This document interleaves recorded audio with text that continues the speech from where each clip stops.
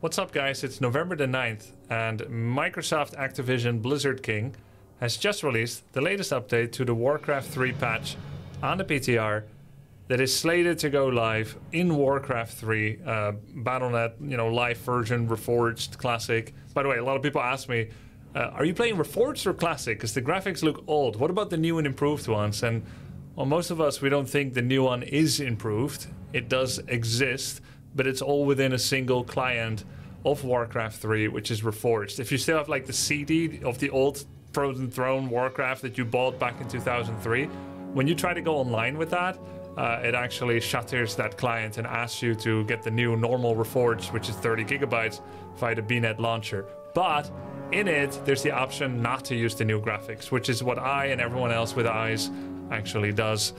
Uh, so yeah, I, I, am playing Reforged, but it looks like Classic, and that's just the way I and everyone wants it.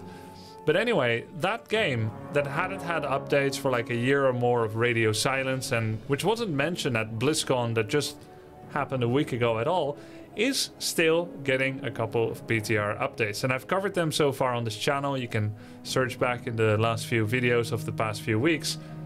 And here is uh, the fourth version of the PTR notes, and I'm gonna go through it. Basically, they go through a couple of changes that are new today, November 9th, and then they summarize everything to show you all the differences from current live version to the PTR. And if you don't know, the PTR is the patch test region.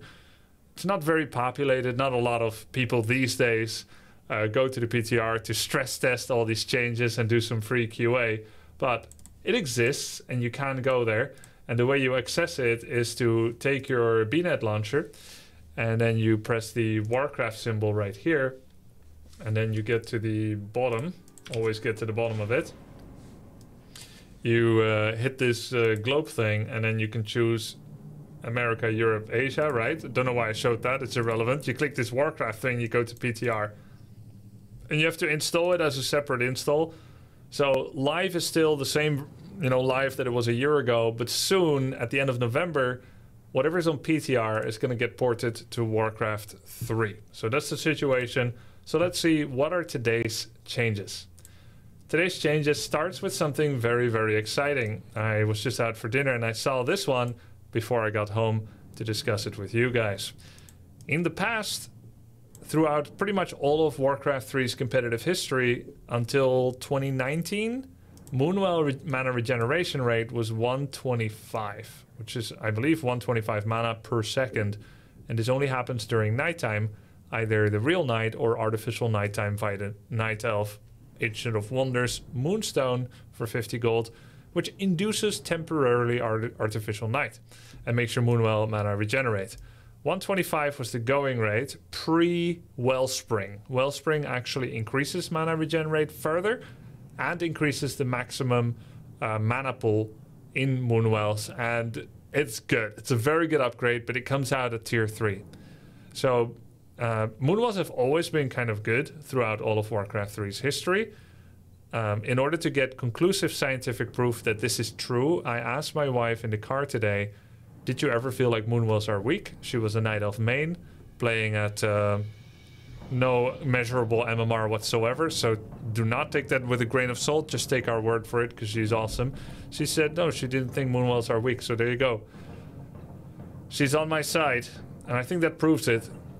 So anyway, uh, I, Moonwells were buffed in 2019, to suddenly get more mana regen. Nobody knew why, it wasn't explained why. It was done by the campaign editor uh, of, of Classic Warcraft, uh, Matt Morris, uh, alongside 13 other Night Elf buffs, including Keeper buffs, uh, Hunter's buff, Archer buff, Tree of Life buff, Goldmine buff, etc. And not really explained why, because Elf was not weak. Uh, Elf is the top two most prize money winning uh, race of course, Moon is guilty of a lot of that, uh, but there's always top players of every race. Uh, Elf and Human were the best. And then in recent years, after several patches, maybe Human dropped off quite a bit, but Elf remained strong, Undead got stronger, and Orc, therefore by comparison, fell, but is also not weak. So anyway, seeing this get reduced, um, I think it's nice. It's still more than it used to be throughout most of Warcraft's competitive history, but not as wildly high as it has been the last three years.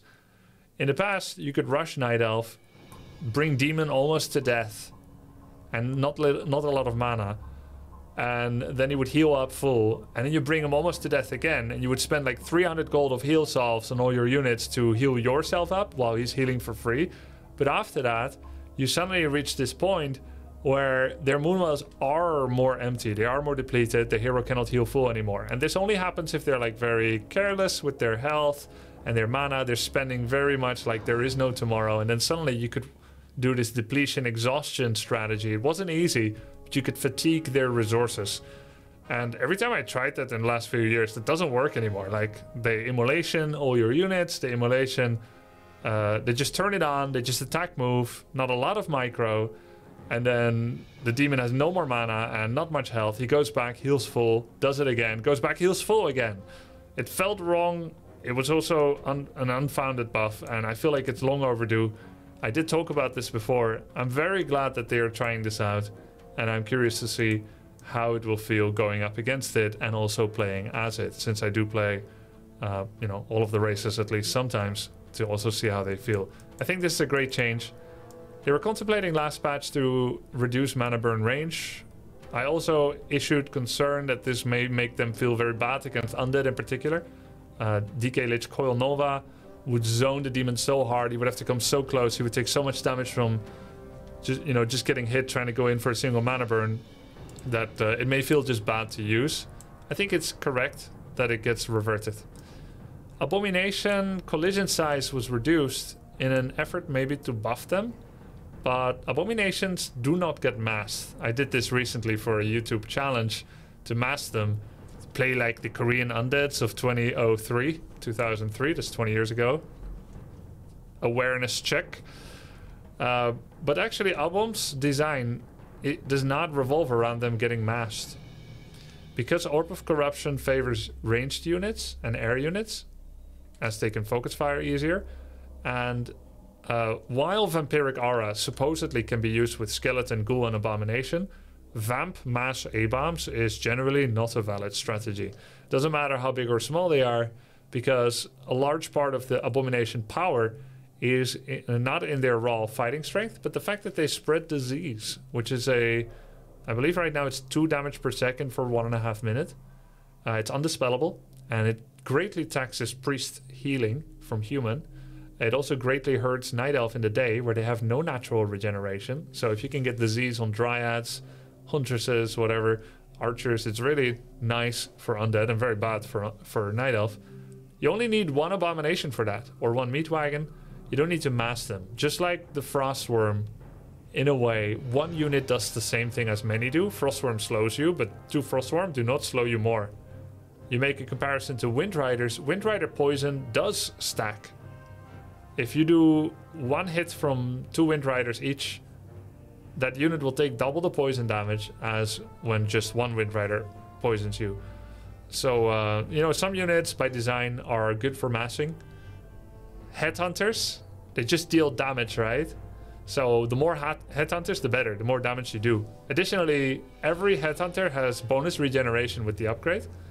So having more headhunters and cycling damage taken among many headhunters is good because you get more regen, you get more total benefit, but the abomination has no more total benefit.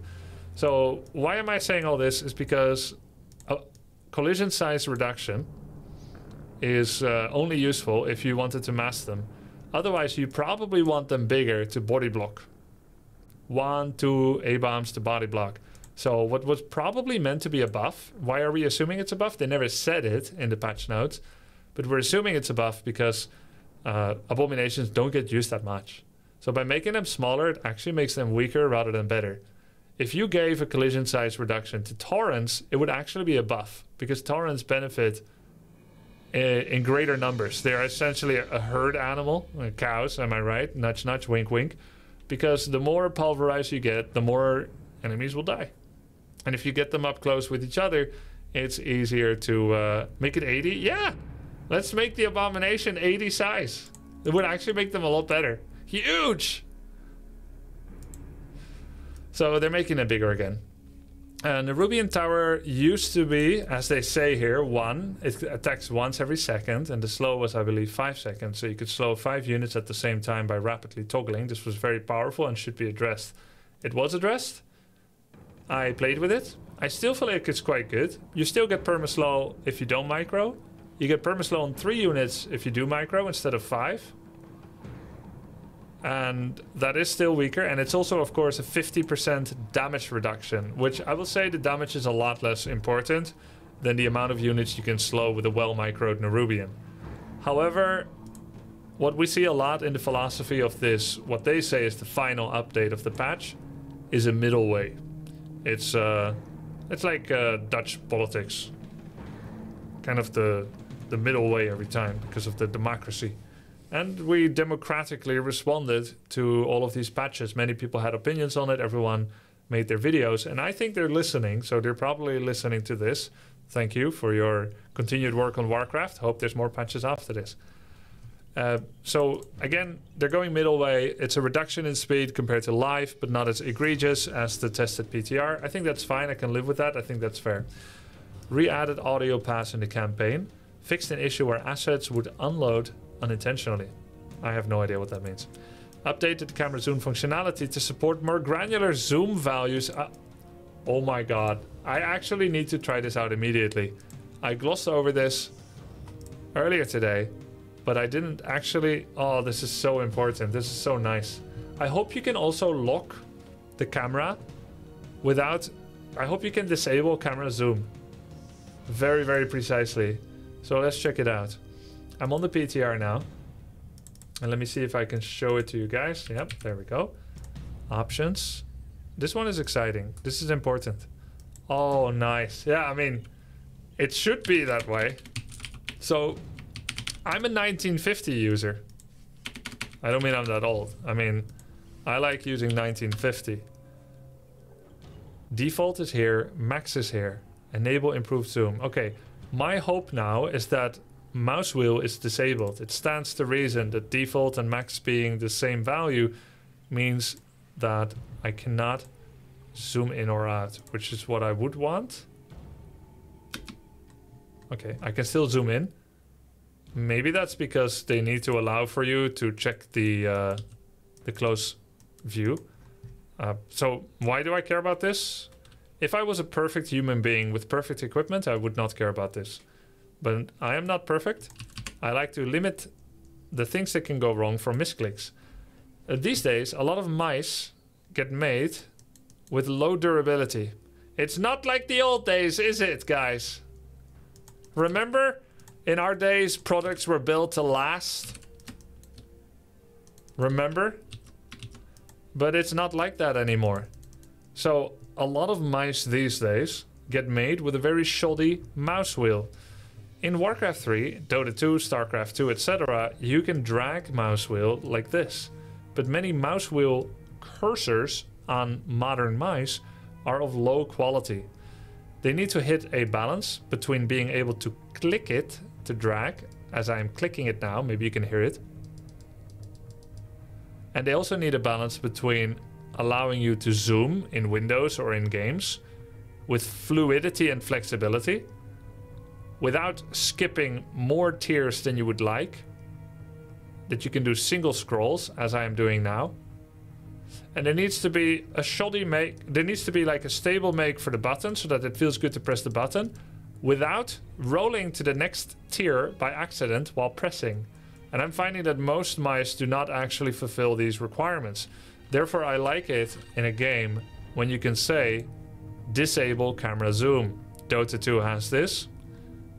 Warcraft 3 does not. So every time... And I learned to use mouse drag wheel in Dota because it's needed. In Warcraft 3, I used to edge pan, like so. But I learned how to do dra uh, dragging with the mouse cursor, the middle mouse button, the scroll wheel essentially, in Dota. It's important so that you keep your cursor in the middle of the screen while playing, next to your hero. Whereas in RTS, I make more sweeping movements, I do edge panning. Yeah, because of this, I do accidental zoom-ins, so I wish it could be different. But that's the final gripe that I have with the current camera options. Can't you change zoom button? Yeah, but I'm I want to have my pie and eat it. I want to be in Windows where I do not use the button. I want to just be able to scroll. So if I completely disable my mouse engine scroll wheel, then I can no longer scroll on Reddit. I'm a pie enjoyer. I still want to use Windows normally without sacrificing everything for the Warcraft. In-game hotkeys. No, that's what I'm saying. There is no hotkey for mouse wheel zoom. Uh, that does not exist in Warcraft 3. And I'm asking for that to exist. It would be pretty easy for them to just say disable zoom. But besides that, I'm really happy that you can now granular choose your zoom in level. I love it. You still cannot granular choose it while in game, which is a minus. It would be nice if I could do, you know, an edit here. 1951, 1951, and then back. Did it work? Well, let's choose something a little bigger. Maybe it does work, actually. It looks grayed out. But what if I say 2100, 2100? Will I zoom out?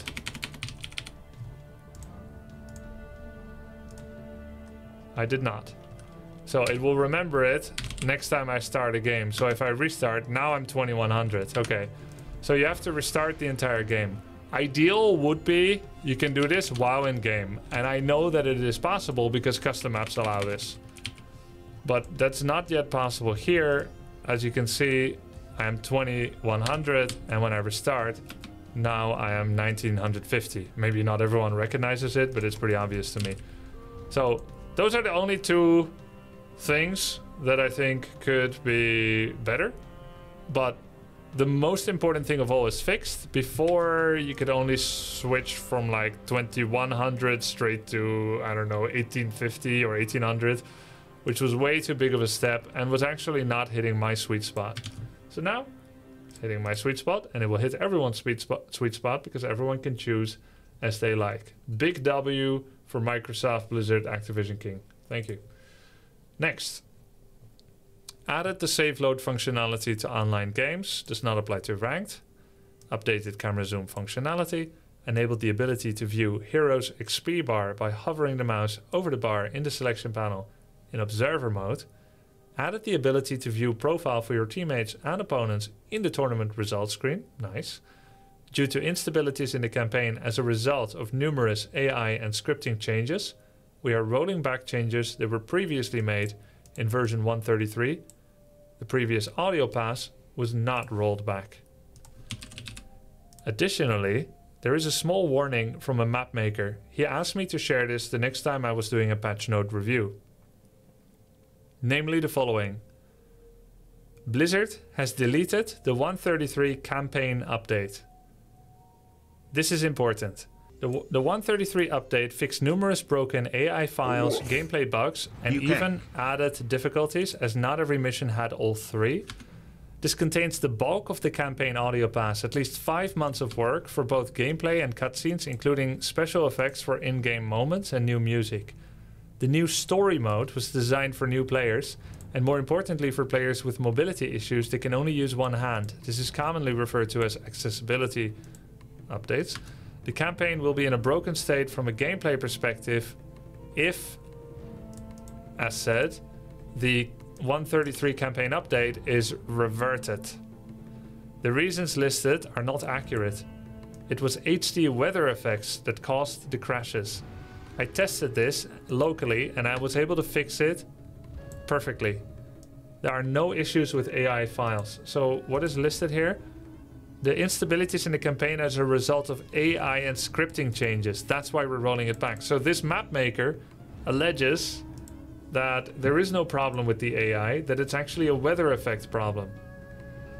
Well, if this scratches familiarity to whoever is reviewing this video, uh, if you work at Blizzard and you work at this, feel free to message me on Discord and I'll put you in contact with the person that said that they were able to fix this perfectly without changing anything in AI, but it was actually HD weather effects. So something is being lost that doesn't need to be lost for the wrong reason. Fix the crash that would primarily happen on the fall of Silvermoon, where a visual effect would try playing on a different game thread. And a bunch more things that I implore you to pause the YouTube video for if you want to read it, but that I don't have all that much op opinion on personally. So we will move on to the balance changes. Can't they just employ this map maker? He used to be. He used to be. Okay, but now he will work for free. Uh, as we essentially uh, all are a little bit. okay, militia duration increased from 40 to 42 and a half. So, used to be 45 way back when, for most of Warcraft history, It was nerfed to 40 maybe in 2018, 19, 2020. Human are being given back a little bit of power, 42 and a half. I'm okay with this. Bash bonus damage, always 25, now going up 25, 40, 55. No stun change, just more damage. It's fine. Devotion aura increased by a bit. 2, still 2, 3.5, now 4, 5, now 6. Fine. Keep increasing food from 12 to 14 is fine. Castle. Priest will cast faster, but heal is slower. It matches the same healing per second, but they can now therefore cast Dispel more easily after finishing a heal. This is a nice quality of life improvement that humans will enjoy.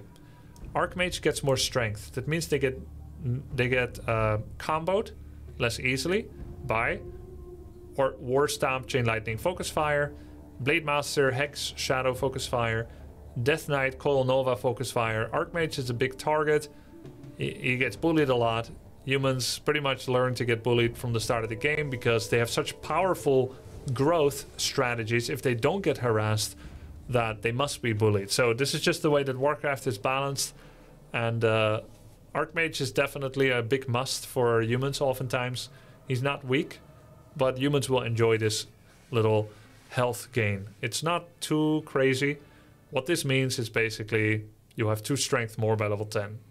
Right? It and it also means that at certain levels, you will have one strength more than you otherwise would, because while decimals are remembered, they are not expressed in gameplay terms.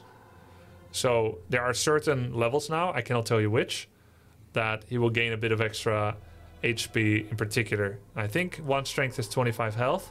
So there's going to be some levels where Archmage has 25 health more than he otherwise would. And there's going to be some levels where he has 50 health more than he otherwise would. Not a huge change, but a nice little resistance to burst. Moonwell, uh, Paladin move speed a little faster. I think this is good. Overall, I think all of these are really good and acceptable. And after some of the more wild changes, I feel like this is a lovely middle way that gives humans some nice buffs. And I think makes human very competitive right now. They already had one really good tournament recently where three humans took top four in a tournament. Um, but that was more of an isolated tournament, and overall they had been less successful uh, as of late. So this could be pretty exciting for them. Level 2 Archmage in particular has 25 bonus health, says Neo. And uh, yeah, that's one of those tipping points I talked about. With a specific granular example then. Moonwell mana regeneration reduction. Um, still better than it used to be. Worse than it is now. I think it's a lovely middle way. And I think it's very needed. I think much of Night Elf's strength comes from that. But it's not just that. It's that having really much Moonwell regeneration is a skill. Uh, it's a mistake softener. If Night Elves stopped wasting as much health and mana on stupid mana burns and needless immolations, but then always getting paid off with full mana and health again from their Lucius Moonwells, if orcs did the same with heal salves, like imagine you walk towards an opponent and you heal salve yourself and it gets insta cancelled. That's the kind of energy that a lot of night elves treat the preciousness of their moonwell juice with. Not the best night elves. Best night elves know how to manage their resources properly, but it's such a mistake equalizer that it makes so many mistakes not even matter, which really very many other races don't have the same energy of. So I think this is a skill expression increaser and it's also a needed nerf. Immolation activation cost. I liked the experimentation with cheaper activation costs for immolation. I don't remember what it used to be anymore. Was it 25 to turn it on? I think it was 25. Which made it feel extremely all in. There were very few night elves after 2004 that ever used immolation seriously. I can almost remember every instance where immolation was used seriously. I think there was one game of Creolophus against Sky, and then there was W.E. Suho from China. Uh, is from Norway, of course. And Suho sometimes used Immolation Rush with Staff of Teleport on a Wisp against Human. He sometimes used that, and it's very all in, it's very risky. But almost always they greatly regret it. One, because Moonwell regen was 125, and it's very expensive to outheal Immo. And two, because once you turn it on, because it costs 25, you're incentivized to leave it on for at least 10 seconds, even if the situation changes and you're no longer in range of anyone. Because if you toggle it off and on, well, you've lost three seconds of you know free running Immo. Uh, so this is um, this was good that they reduced it from 25 to less, but one is a little crazy because that completely removes the gameplay decision of turning it on and off. And I think 10 is a nice middle way. I think 15 would be acceptable. I feel like 7 would be acceptable. Anything in between 10, I think it's lovely. And I think it is a good balance between, you know, meaningful decision, a meaningful resource, but not prohibitively much that it feels so all in that if you turn it on, you pretty much have to stay and burn up until you go supernova. Immolation mana buffer requirement increased. That doesn't mean much to me. I think it just means they need to have at least 10 to turn it on. I'm not exactly sure. Or maybe it means how much it costs per second to keep it on. It's not 10 mana per second though, is it? I'm not sure what it means. Uh, Warden Blink cooldown does get buffed quite a lot. Some people were worried about this, but I again remind people it used to be one second, and Warden was more popular, and this was for more than a decade. But Warden is fun to watch, it's fun to play with, and it's not unstoppable. There are counters against it. It is uh, something a little different than you know Demon or or Keeper every game. I think Night Elf having a lot of starting heroes was often part of their uh, identity partially enabled by Moonwells, and I think it's nice to have Warden games. She's cool. Keep in mind also that Blink level 3 pretty much only happens when Warden gets 7, which is admittedly more common than you would think, because Warden's kit actually is uniquely suited to be solo hero used, as she is a spellcaster that scales her damage and mobility with every level. Every single level for her matters in a way that it's really not quite the same as for a Death Knight or a Farseer that has more underwhelming secondary spells or abilities. So she does get solo heroed a lot. She can solo creep very fast. She can kill peasants to get to level 6 even faster. So 7 is not uncommon. But some strength at level 7 is okay, I think. And 2.5 seconds still allows for counterplay way more than 1 second ever did. If Warden blinks in and fans, you can Stormbolt her, you can Hex her, even if you're 60 years old. Whereas with one second, eh, you know, blink in, you start to aim the Stormbolt. Hold on there, son. Let me Stormbolt you, you rapscallion. You harlot, you're not getting away from me this time, Warden. And you swing back your pimp hammer and let it fly loose, and boom, blink, disjoint, Stormbolt misses. So, uh, yeah, I think one second is crazy and uh, two and a half second is okay. It's strong, but it's fun for Elf. They get new play toy because it can't all be nerfs. That would make Night Elves disincentivized, unmotivated to keep playing.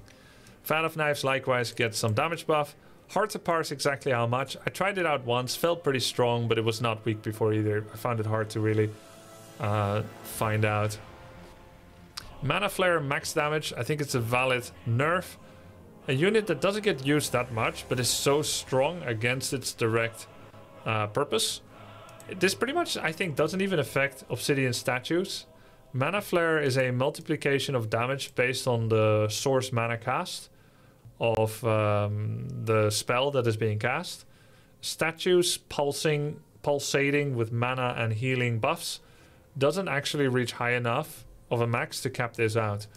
This mostly affects, and I actually need to check what is the exact percentage multiplier. I believe maybe it's like um, times 10 or maybe it's times 5. I'm gonna check. Liquipedia, Mana Flare, Fairy Dragon.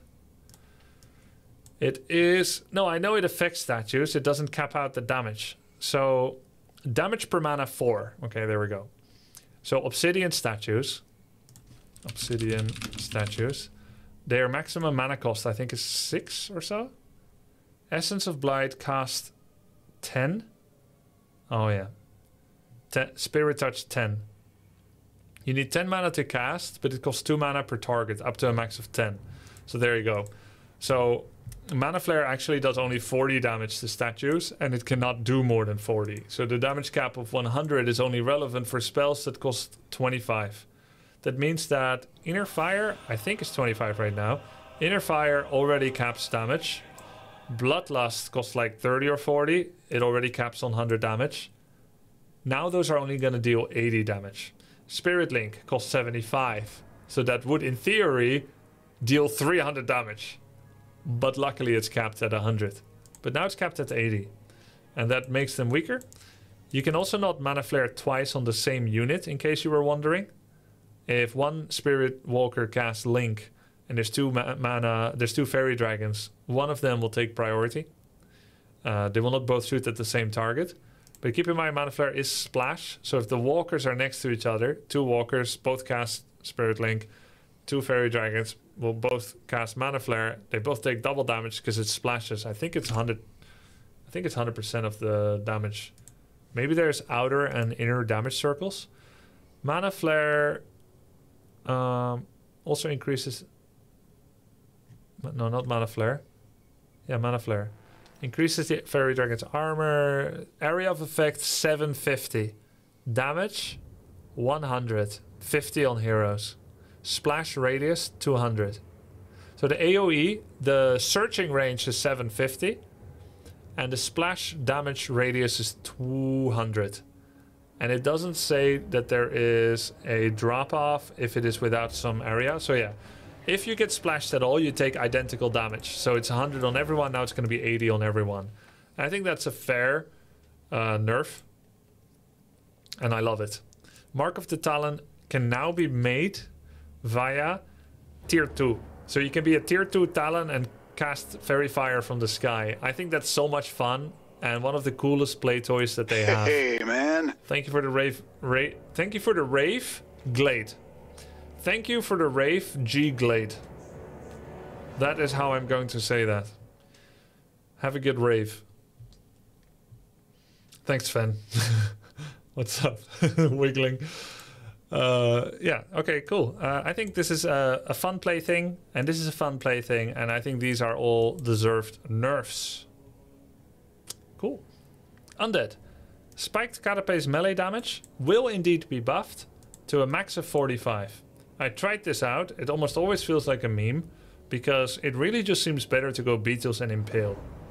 Because of that, despite my memes claiming that, oh my god, it's so strong, stop hitting yourself, stop hitting yourself, I don't think this is going to be broken, even if it does look like a large damage return. Thorns already offers 45 melee damage return on everything, and it's also not quite broken. It's very strong against Orc when playing bear strats, but it's not quite broken, uh, most likely. And so me melee damage return aura really is one of the weakest in the game, and therefore I'm not worried about this. He's also going to get a buttload of armor, which uh, I think is a fun plaything. Cryptlord will be a massive tank. This could be really strong. But ultimately, the biggest weakness for Cryptlord is that he doesn't have Unholy and Coil. Basically, he's not Death Knight. What's wrong with me? I'm a nice guy. I've got a lot of armor. I've got damage return. That's not it. You're not Death Knight. I need someone with Coil Nova in my life, and I need someone with Unholy Aura in my life. You're a nice guy, but I, that's all I see you as. Just a big, fat tank. And it hurts to touch you that way. Cripple costs reduced from 125 to 100 mana, I think is a nice buff. Uh, which, uh, you know, this spell doesn't get used much. Skeletal Mastery cast reduced. Again, doesn't get used much. Nice buff. Let's see more Necromancers, am I right? Even though it's no Necromancer November right now. But this patch is slated to hit at the end of November. Uh, so in December, I think everyone can let loose and raise the dead. Nerubian Tower cooldown increased, as mentioned before.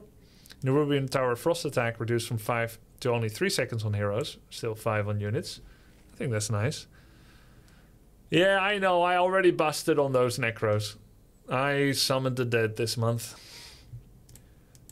Abomination. Oh, here's an alternative buff to abominations. Yeah, I had a nice dinner. Thanks. Uh, abomination turn rate. I had uh, lamb chops with fries. And the wifey had uh, Pokeball with shrimps. Abomination turn rate increased. All right. Increased. Increased. Not decreased. Oh, they're nerfs. I thought these were buffs. It will take them half a second to turn around. Abominations. What? No? They're buffs? Okay, hold on. Doesn't turn rate describe the amount of seconds required to make a full 360 spin? Oh, the higher the number, the faster you turn. Really? Turn rate, the rate at which you turn. Yeah, so what does 0.5 mean? I believe you if you guys are saying this. I just wonder what the expression term is. Let me see. Turn rate for Fairy Dragon is 0.4. Probably you turn half a rotation in a second. Ah. Yeah, it could be like that, yeah. One second could be the default term. Shouldn't it be called turn speed, not turn rate? I guess can be kind of um, so abominations and fiends will be will turn more agile. Okay. So uh, let's see. Let let let's sum up undead. Could be irrelevant. Irrelevant, most likely irrelevant. Nice nerf, nice nerf somewhat noticeable buffs to Abom and Fiend. For Abom, it's almost irrelevant because they don't get used much. Crypt Fiend is staple, so this will be a nice buff for them for uh, stutter stepping. And Dreadlord faster. So overall, I don't feel like Undead changes a lot. I think this is the biggest change. So overall, if I had to express, I would still say despite all the buffs, on the whole, and that this is how relevance matters, on the whole, for pros, I feel like Undead is nerfed because of this. But this is the secondary important change, and this might just be a buff. Uh, I mean, this is a buff, a big buff actually. This might actually be the biggest change that Undead has. Maybe this is number one, number two, and then everything else is number three. Um, overall, I think Undead might be just as strong as before. Nerubian is still good. So there's neither something to worry about, nor are pros likely going to try a lot of new things. All the seven pros of Undead in the game. But for Nublets, these are fun. This barely matters for Nublets because Nublets don't change Nerubian targeting much. They will probably not notice this, but they will still benefit from it, and this is fine. No change for statues or Coil Nova. This seems to be a much requested change by many people. I have not expressed myself about it all too much. I don't know where Undead will be if they can't Coil Nova everybody. Statues were already nerfed recently in their mana generation rate. Why don't they ever change statue mana regen? A valid question if they really hadn't, but they have. Mana statues have been nerfed, no? I'm pretty sure that they have been nerfed. You can feel it when you play with it too. I'm going to check the Liquipedia. Here, look. Uh, look, guys, to the thing that I have, have not shown you yet. Patch 135, 19 January. Obsidian statues, Spirit Touch, Mana Restore reduced from 3 to 2. An Obsidian statue gives more XP. Uh, 60 XP instead of uh, 40. Statues have been nerfed, nerfed, nerfed, nerfed, nerfed. Spirit Touch now restores three instead of four. Oh my god, it was four when when TFT came out. oh man, man, man, man, man. Anyway, uh, this is uh, this was already done. less than a year ago.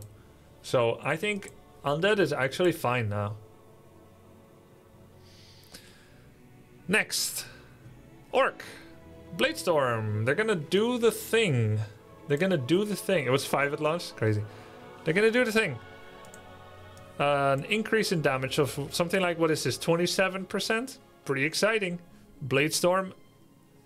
I don't think is one of the best ults. You often don't take it because you ain't got mana. I think the alternative buff was mana cost reduction, but damage increase is pretty exciting. Um, seems like a nice buff. Spirit Walker build time reduction by 3 seconds. This will help against talents, which is still a very strong strategy. We don't use a lot of walkers against human right now, but might do a bit more now. It also kind of enables the backdoor strategy of War, uh, uh, Walker Tauren, which is still very unexplored despite Warcraft 3's very um, well seasoned state in the gaming scene. Uh, Walker Tauren is something most people don't burn their fingers on, and I, I have done it quite a bit. But even when I was winning uh, games with it some years ago, I pretty much retired from competitive, re-retired, because I played a couple of tourneys uh, last few years, right?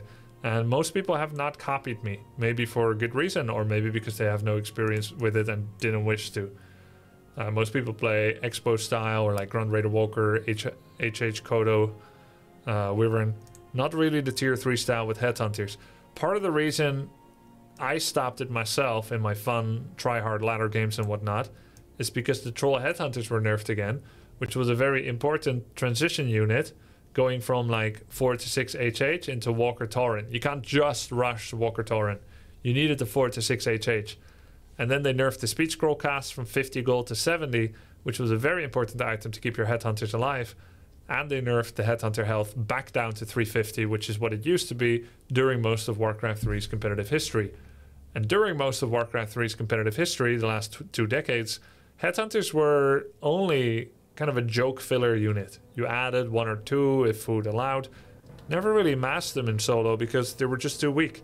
375 and the bonus range and the buff to troll regen were all necessary to make them not just viable, but very good even.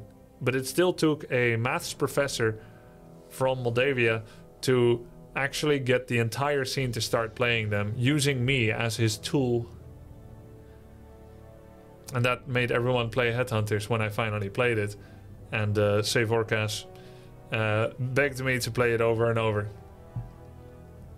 And uh, then when the Headhunters were nerfed down to 350, nonetheless keeping their 100 range, and their bonus benefit from troll regeneration, we see a lot less of them again. That 25 health matters a lot.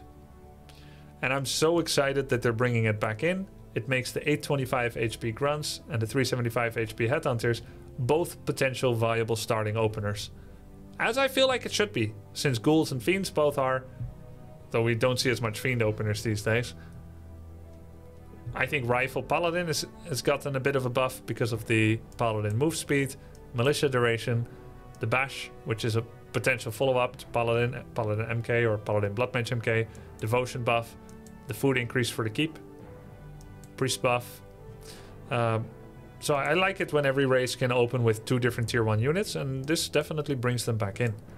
Walker Adept Training and Master Training both get a 10 second buff, which I think is nice. Master Walkers and Master Taurens are not without their counters. You can either blow up the corpses, with Siege so that they cannot revive, or you can use any form of air which beats both Walkers and Taurens. You can also use Possession, and you can also just beat them. Like with Bears, Dryads, and Mountain Giants, they can actually also just win against Taurens and Walkers. But it's based also on skill and timings, as it should be. So while Walker Tauren are strong, they are pretty much not at risk of becoming a rampant dominating strat, which is why I think the buffs are not an issue and exciting. Likewise, Tauren gets a 5 second buff, and I think this is the best buff you could give them. Some people have suggested magic resistance, slow resistance, speed increase. I think all of them are really risky because the Tauren is potentially very powerful and making their efficiency per population better could make them have a really, really strong impact. The main issue with Taurens is they get countered too easily so getting them out a little bit faster, a little bit more agile seems to be the perfect buff to them in my mind. And I'm excited to see how this will feel. Lastly, Orc gets a small lumber buff on all of their upgrades. Both armor, tier 1. No, all, all, not just tier 1. This is the increment. So it's 25 cheaper at tier 1. 25 or 50 cheaper at tier 2 and 25 or 75 cheaper at tier 3 if I remember correctly. I think it's 25, 50, 75 cheaper per level, uh, which is nice. Uh, tier 3 armor upgrade costs like 450 lumber normally. Uh, tier 1 is actually the same. It's the tier 2 and tier 3 that are cheaper. Oh, really? Really? What? I have to check it out now. I'm gonna test it. This I need to check myself. I cannot just take the word of a handsome young man in chat. This has to be tested. We must test. Yes, Neo is correct. Now I'm thinking it's very likely to be true.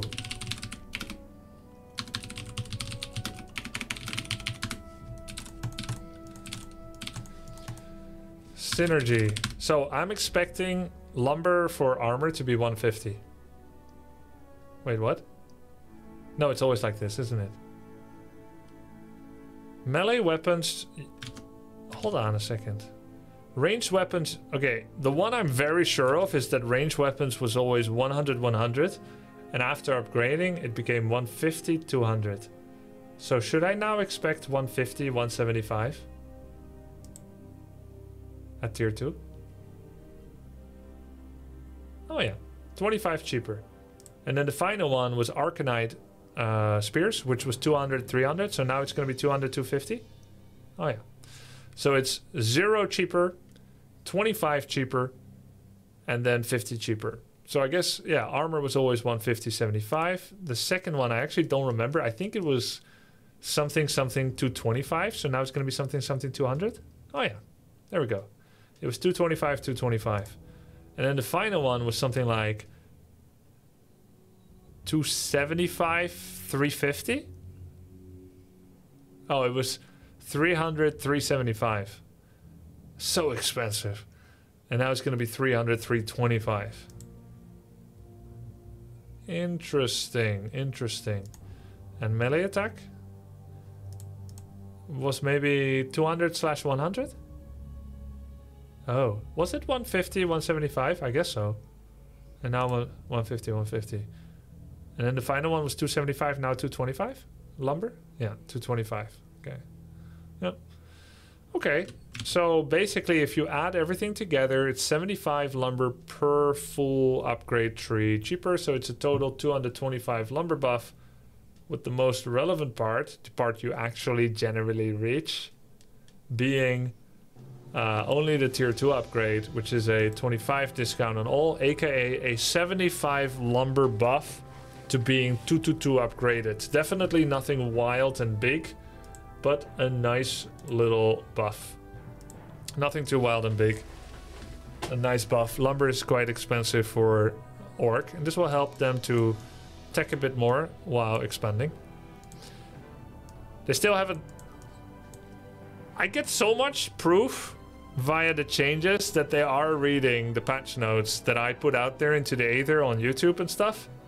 And they're reading everyone's patch notes and taking ideas from everywhere. And they've gone for a very balanced, middle of the road approach. And I think this patch is really good, much better than the previous iterations. I like pretty much everything. But they still haven't changed this E to an I. Anyway, not a big deal. The number is good. Firelord is getting exciting buffs, much cheaper Incinerate. Lava Split from 15 to 13, nice, and Volcano a little bit more damage. Tome of Retraining will have two stocks, fantastic. Teleportation, two stocks, fantastic. Crystal Ball is now a consumable with two charges. I like this. I explained in a previous video why I think this is a good, good idea, and I still think it is a good idea. Ring of Protection 3 is boring, it's gone. Nice. Claws of Attack is 5 again, nice, exciting. And Periapt of Vitality, 25 gold less. I think that's fair for its value, because this is an almost always sell item. And this doesn't matter that much. This is fine. They changed the maple to remove Tide Hunters and Autumn Leaves, which is too bad. I kind of like these maps. But they added two other good maps. So I feel like they remove two good ones and they add two good ones, which is fine, I guess. but they could also leave them all in. But sometimes there's like an ideal number, and also, um, so long as they do a kind of regular rotation, and they keep doing this, which is a very good thing.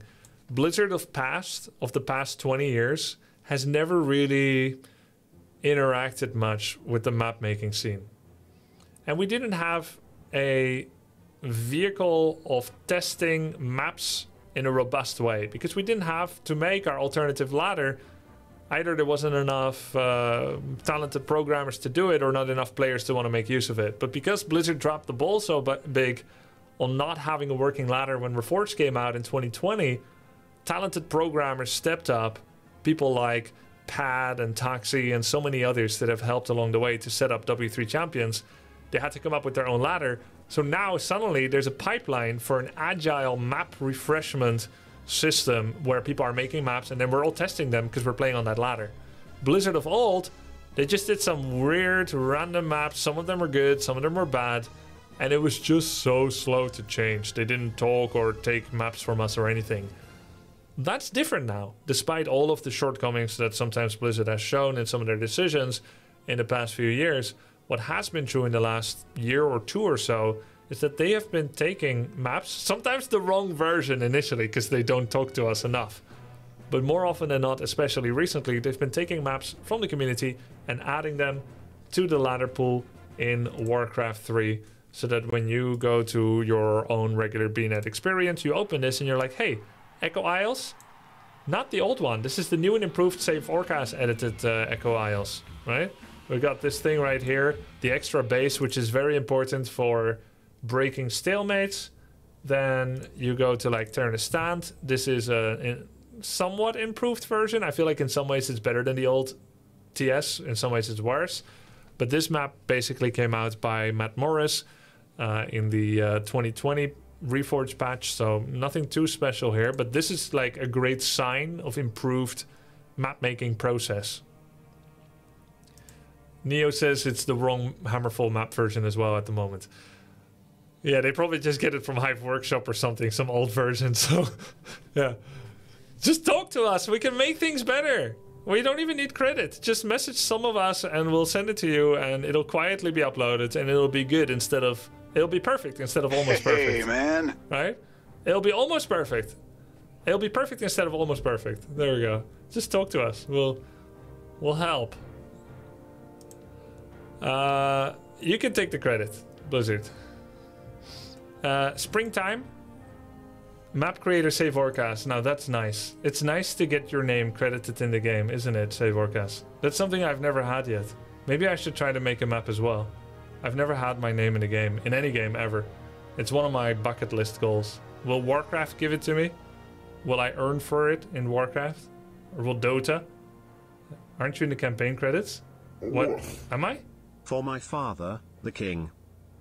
Can I can I hire you to to do a ghost map for me, say Warcast? put my name on it, but you make it. I'm in the credits, but oh, I, I don't know that. You have name in Dota when watching replay, yeah, but it doesn't count. I mean, like actually, like some you created something, right? Or you credited something. Anyway, uh, Lost Temple, Last Refuge. This is um, this is also a user map. Last Refuge. Turtle Rock is a Blizzard classic. Concealed Hill is made by Flow and Hightech, which is the W3 champions, and Hightech might be. He's a long time community creator. Northern Isles came from us. Twisted Who's this? McCandlish MMC? Is this the edit? Because I thought Twisted was a Blizzard original. Anyway, the point is, all of these maps are good, pretty good, and it's almost perfect. And it's great that they're taking maps from the community as well. Can't judge the 2v2 maps and whatnot too much since I haven't played it too much. But soon I will be playing it because I put out a challenge that if we reach 300,000 subs on my YouTube, follow Grubby, that Sky and I will be playing on W3 Champions 2v2 well, for as long as we can, for as long as you know our schedules align, because our schedules actually do not align. And we are currently at 299k subs, and I think we'll reach it over this weekend of 10 to 12 November. So I think this weekend I'm playing 2v2 with Sky. hit that sub button if you haven't already. And I'm gonna play with a two-time WCG winner, WE Sky, in 2v2. Together between us, we've won four WCGs. Let's see how we can do in two on two. So we're almost there. Almost there. Uh, so we will soon be actually discovering these maps King and Country, Rusty Creek. FFA map changes, and after looking at recent tournament activity and experimenting with different time zones, we've adjusted the tournament schedule where it rotates time zones each week. Cool. Very good patch notes. I give it a 8 out of 10. Love it. Thank you for your work, Blizzard, and thank you for watching, viewers. Like, comment, and subscribe, and uh, all that good stuff. And as always, it's up to the grub. See ya. Bye.